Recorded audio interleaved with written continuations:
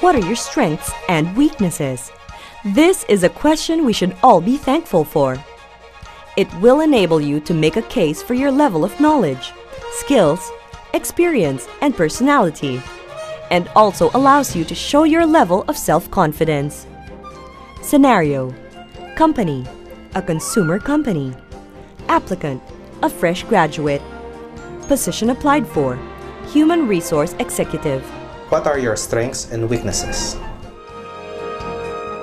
Well, in terms of my strengths, I'm quite bright and I'm an outgoing person.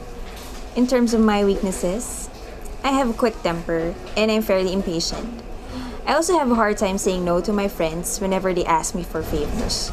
It's best to mention at least three strengths that present a wide range of assets you possess and enable you to project a good level of self confidence. Make sure to substantiate them with examples and illustrations. All of us have weaknesses and limitations, so don't avoid the question. Share one or two weaknesses that are not damaging to you.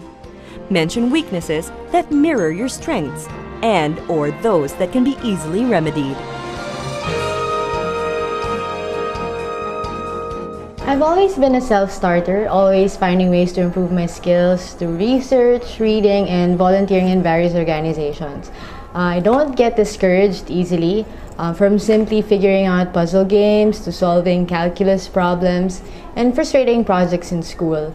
I like challenges and obstacles. I find fulfillment when I accomplish them. And at the same time, my years in UP also developed my ability to relate with people from all walks of life.